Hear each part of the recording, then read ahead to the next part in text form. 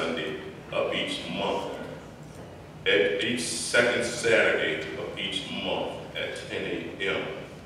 You can contact the church for more information at 804-232-2867, the ZB Coffee at Verizon.net. All women's surveys are due by June the 30th, 2024. Uh, Once again, the items for Paratalks are on the back of the program, and you can see what they need, and um, bring whatever you want. If you- if it's not on the list, bring whatever you can. They need a lot of things. Then we will have a presentation by Pastor Darrin Johnson.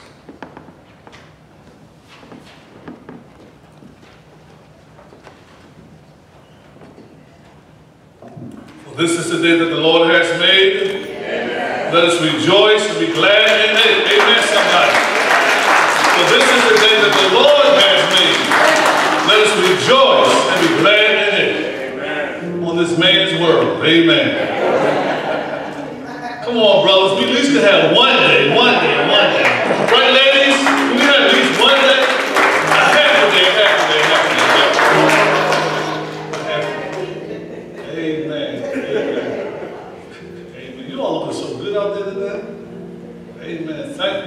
So much for coming on this Sunday. This month, this is a unique month for all that were born in the month of June. So happy birthday to everyone that's born in the month of June. Um, but for your pastor, um, there's one unique day that's coming on tomorrow. And it's my Rosebud birthday. It's, it's, my girlfriend's birthday on y'all. So, um, Tanya C. Johnson, I love you. I love you, I love you, I love you. And next month, um, on the 24th, we'll be celebrating 25 years of marriage. Amen. I'm happy and delighted because I'm glad she cut me all this time. And I tell somebody I was I was pretty much raised around the projects, and I am a project. Amen, somebody. Y'all better be real. Amen, somebody. Amen. But thank God for you. Um, I just want to let you know, as I say to you often, how much I love you. But I want to present you with something this morning.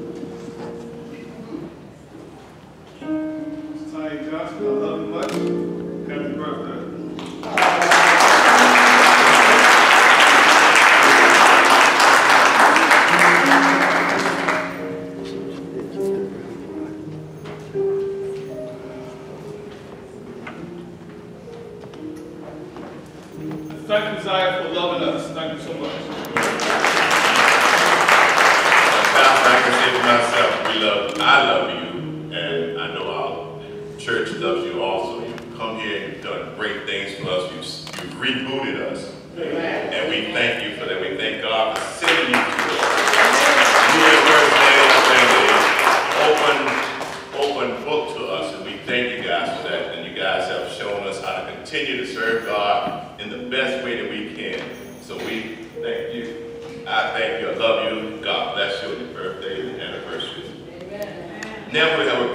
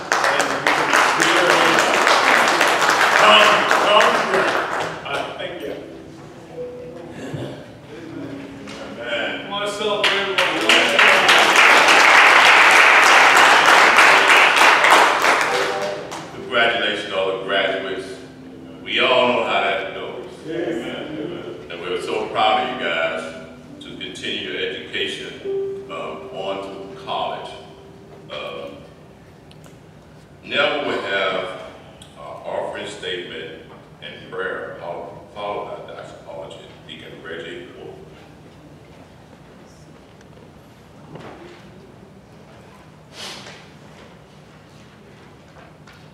Praise the Lord.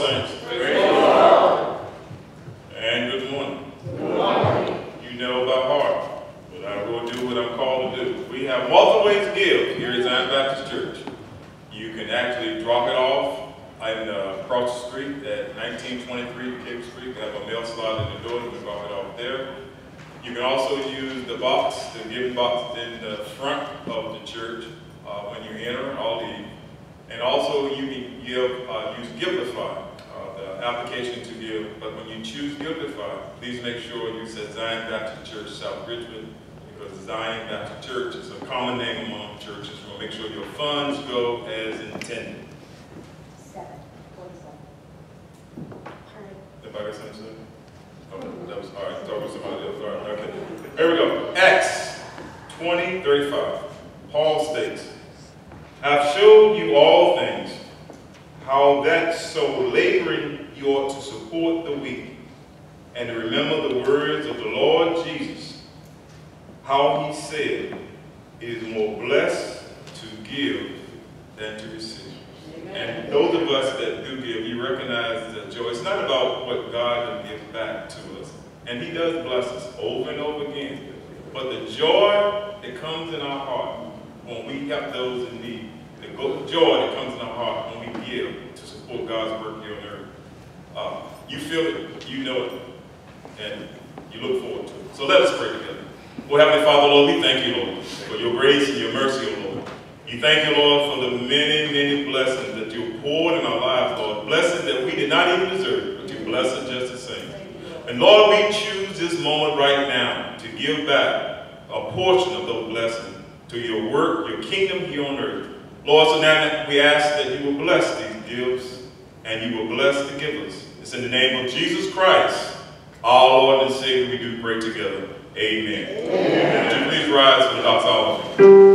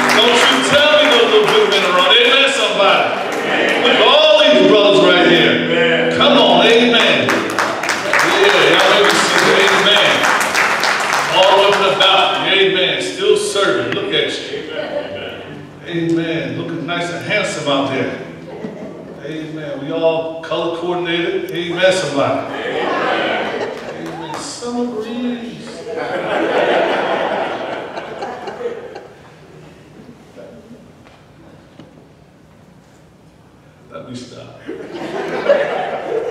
like that. I, I like that. I am a man. I like that. Yes, sir. Yes, sir. I am, I am delighted for the presence of God, for he, who He is in all of our lives. Amen. Um, I don't have much to say this morning. All I want to say, first of all, praise God. That's number one. Uh, thank God for God being God. You all make sure y'all stay cool. Amen, somebody. And make sure we check on the elderly as well. Amen. Make sure we check on the elderly. You know, it's hot out there and they can get heat hot, mighty, mighty fast. Amen, somebody. Just keep the faith. Amen. We're looking for a good time of the Lord on today. Amen. Although we don't have Bible study, but I want to encourage you to still read your Bible. Yeah. Amen, somebody. You should be able to make for about a month and a half. Amen, somebody.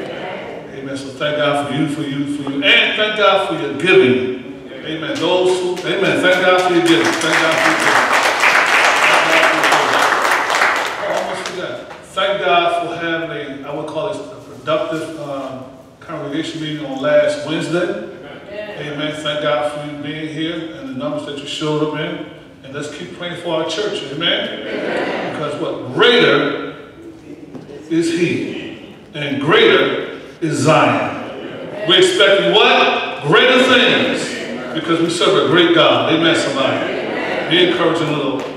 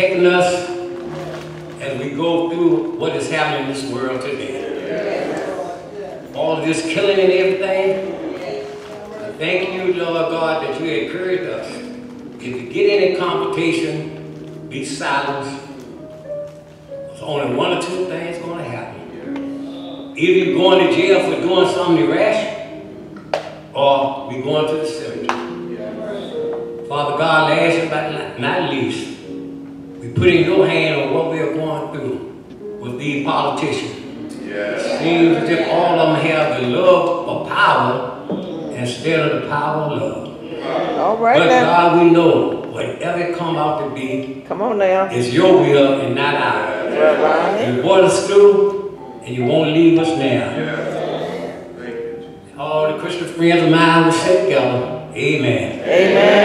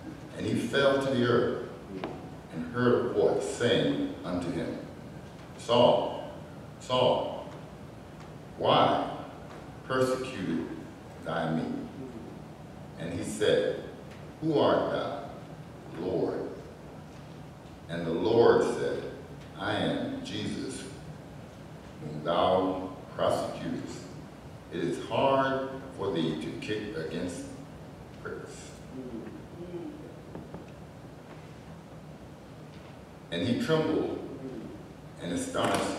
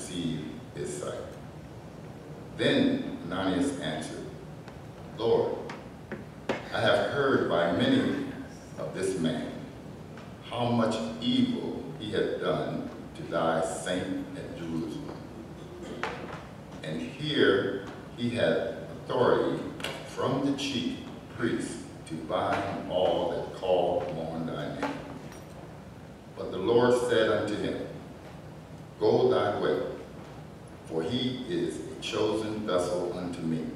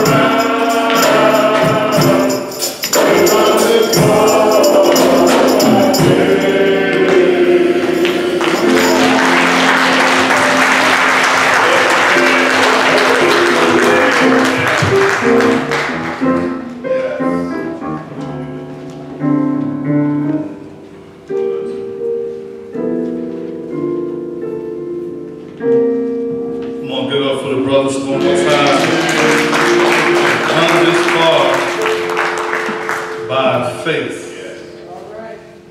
Leaning on the Lord. Trusting his every word.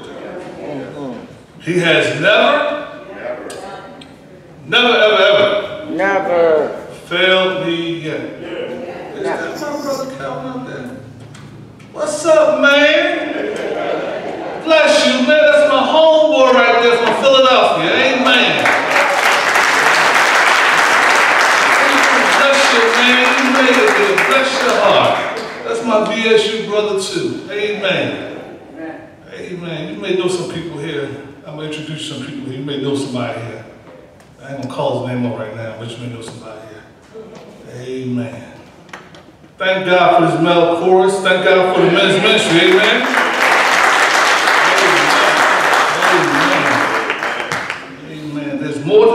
From the men of Zion Baptist Church.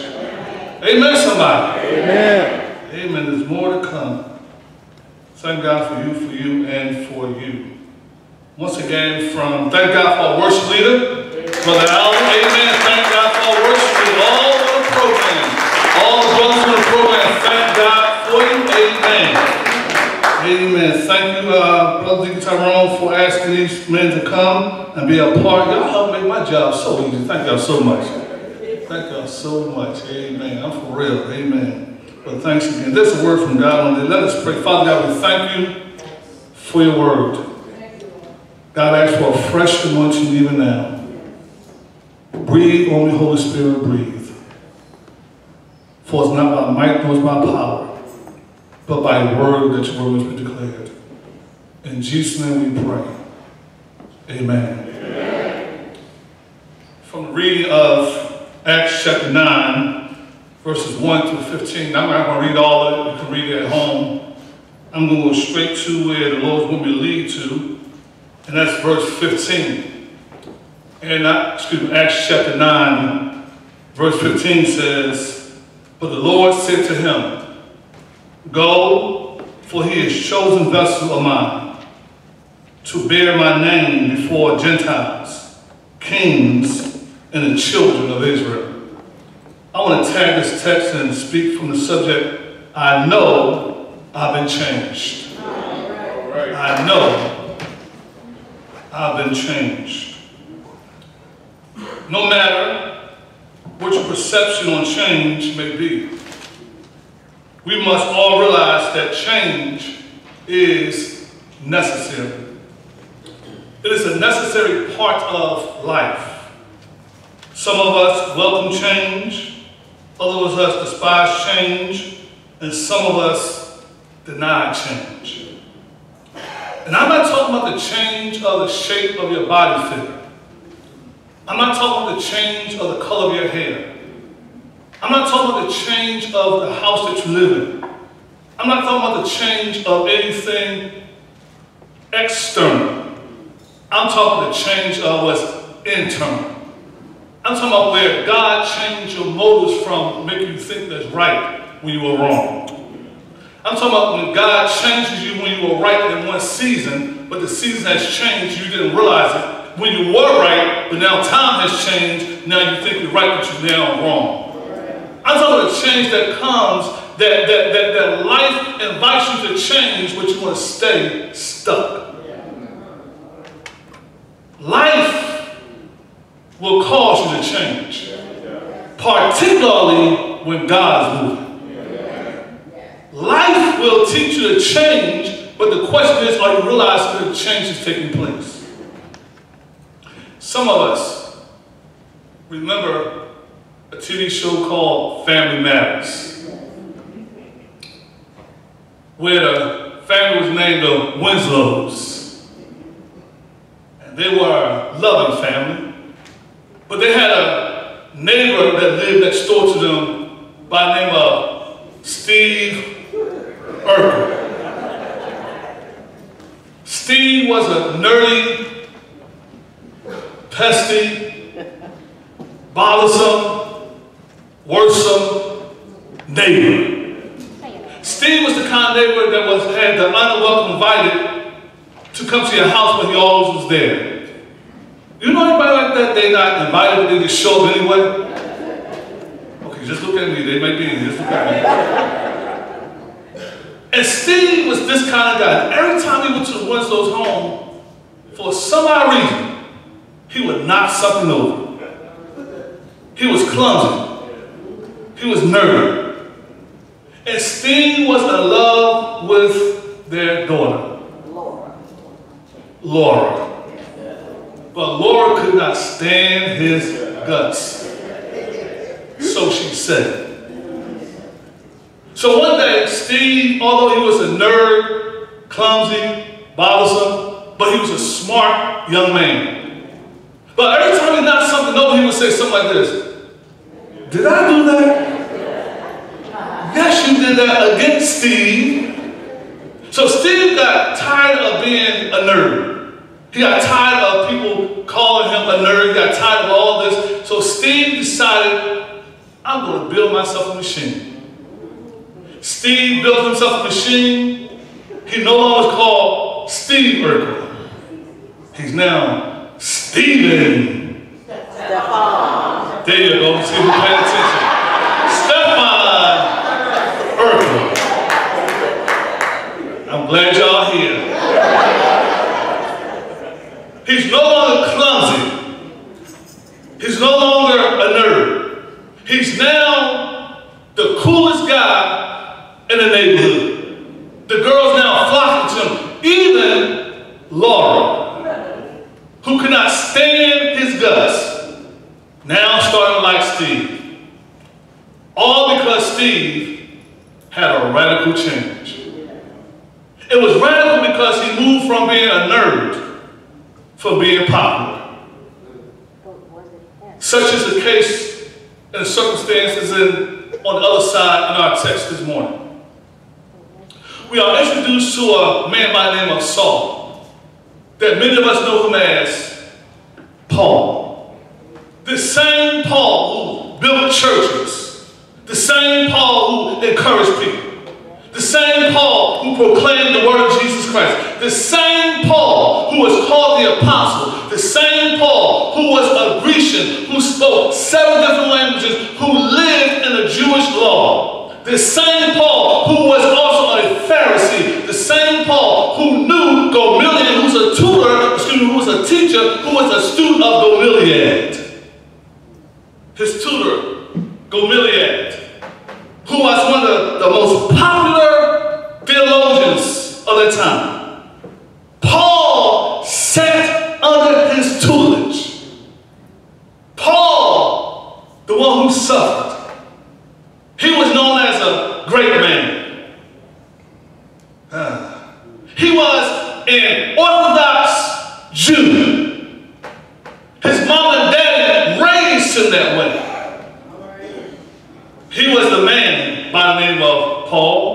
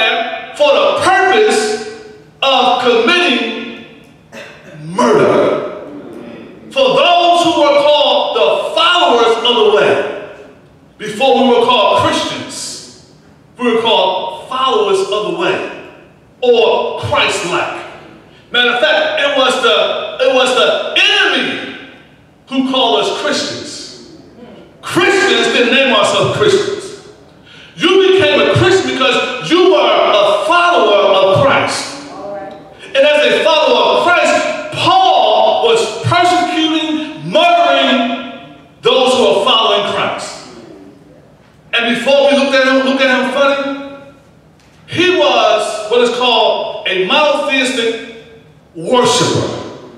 He worshiped God. And to his credit, he did not want anybody to get the credit but God himself. So how could anybody call themselves followers of Christ? That Paul did not know Christ. He knew God. So he thought, help me Holy Ghost. And as a follower of God and not Christ, Paul thought it was harmful for those who were following Christ. At the time, not realizing that Christ has risen. It was now, it was now a new day. Watch this.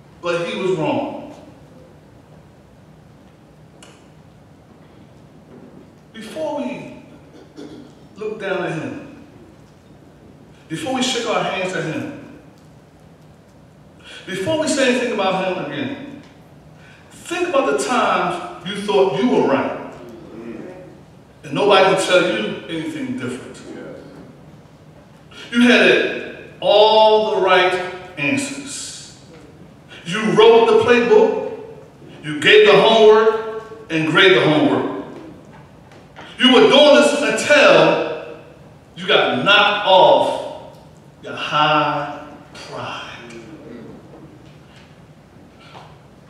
There are those who say that Paul is knocked off the horse. No, that's not what the text says. The text says that Paul was knocked down to the ground. Paul was knocked down because of his self-centeredness. He was knocked down because of his pride. He was knocked down because of his self-righteous way. Paul thought he was morally right, but his motivation was wrong.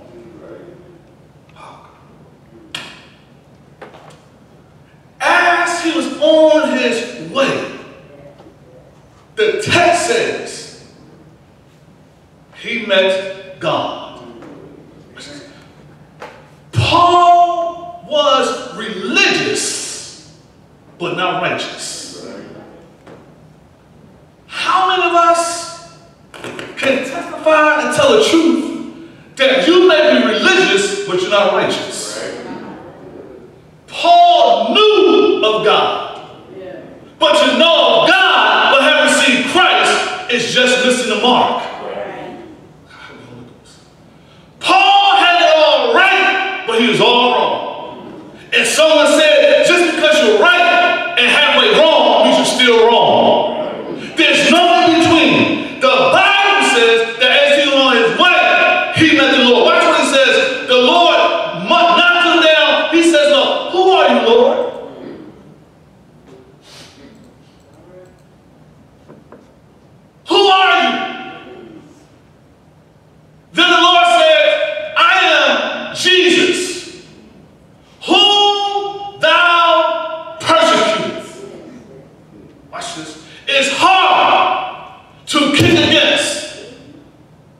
the gods or the priests.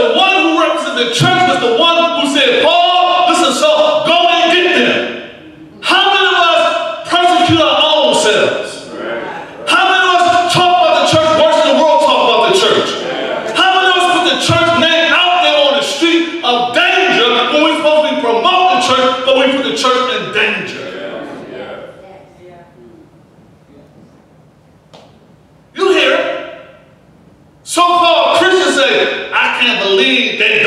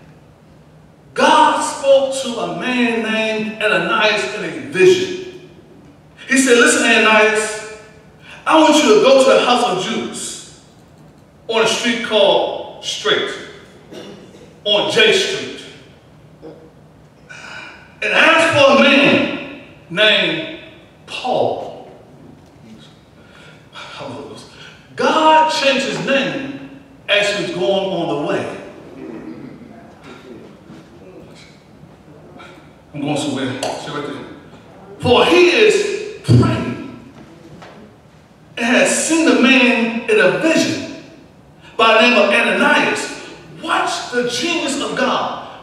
God said that Paul was praying, but he would see Ananias in a vision, and Ananias saw Paul in a vision. Which means that God just gave directions, but he blinded them at the same time.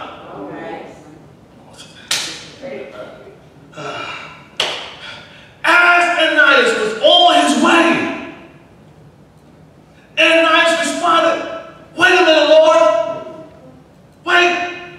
You want me to go to Damascus?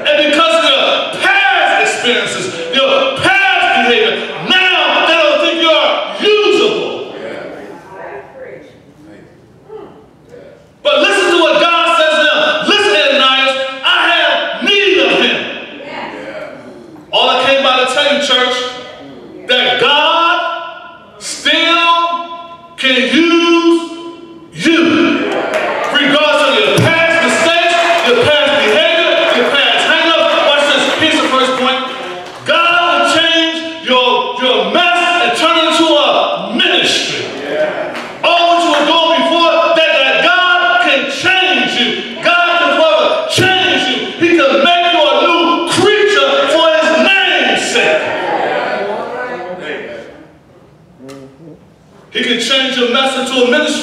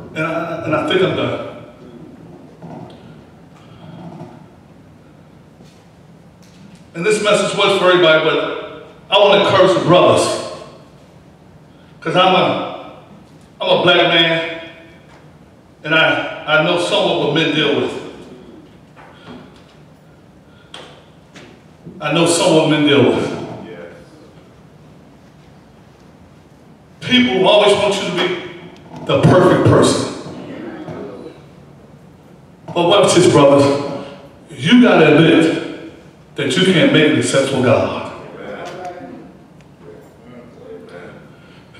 You, you, you you can't change you.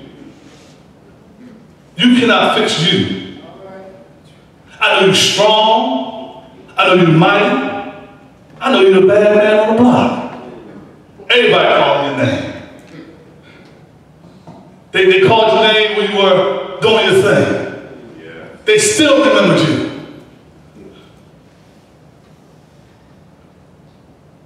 Brother Cal and I went home one day. I'm being real transparent. Help the Holy Ghost. And I was in a barber shop. 29th and July, North Philadelphia. If y'all know what it is, I'll take you there. I was in the barber shop, sitting in a chair, getting my hair lined up. A person was sitting in another chair. He looked at me. He said, you Chucky, little brother. I forgot who this guy was. Chucky was my oldest brother.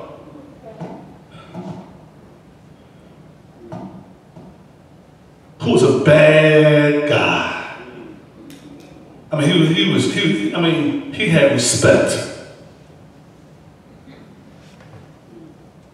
If y'all know what I'm saying, he had respect. My brother Chuck been dead about 25 years or more now. But because of his reputation, they still remember him. A guy said to me, well, who are you? The guy said, no, don't mess with him. He said, I won't ask him which guy who he is. He said, no, no, no, no, no. That's Chuck, little brother.